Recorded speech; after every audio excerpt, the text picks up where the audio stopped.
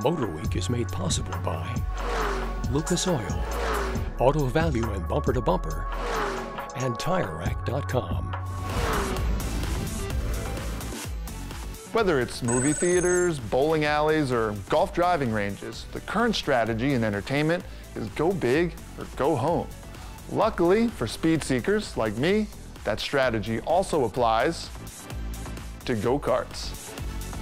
I've crossed continents to drive some of the oldest, fastest, and most famous racetracks, so it was an easy decision to head just up the turnpike to Edison, New Jersey, and add another superlative to my list.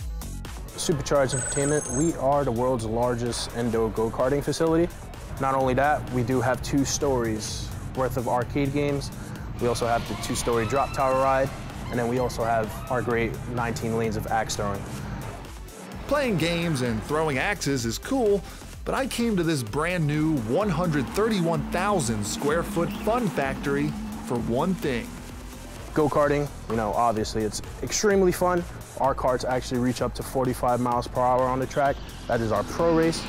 Um, we also have a different speed, which is our semi-pro, mostly for the less experienced and our younger, our younger crowd. As for the go-karts themselves, John, take it away. What makes these carts go is a pair of electric motors with a combined output of 18 horsepower, an added sound enhancement which mimics the roar of a V8 engine.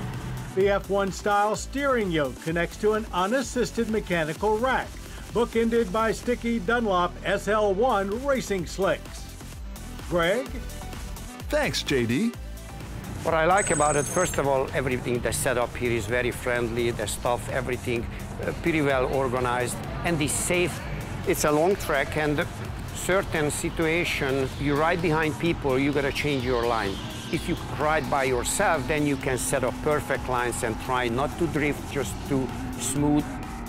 Here there are actually two tracks in one, both more than a quarter mile in length. But with speeds over 40 miles per hour, you can get around pretty quick. Actually, what is the track record around here? It's a 47.283. Challenge accepted. To break the track record, Daniel said I'd have to master the boost button. So the boost button actually gives you a boost for about two to three seconds, and it gives you a large boost. Trust me, I've tried it. My personal opinion, I think you should use it around the turns, just so you get that boost going uphill. Let's go out and try and break a track record. And up the corkscrew, light on the throttle, keeping speed. Just as I'm cresting, I'm losing speed. So I need a little boost. I'm not even touching the brake, just little lifts of the throttle, like right there. Let's push the limits here, go right on the edge. What we can do, trying to gain every possible tenth, maybe even hundredth of a second.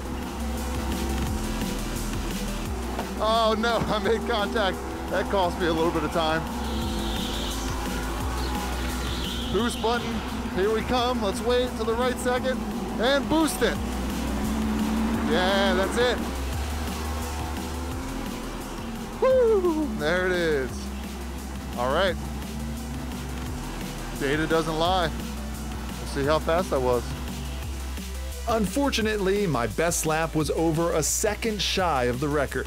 Still, it's a top 10 time for the week, and at the world's largest indoor go-kart track, I'll take it.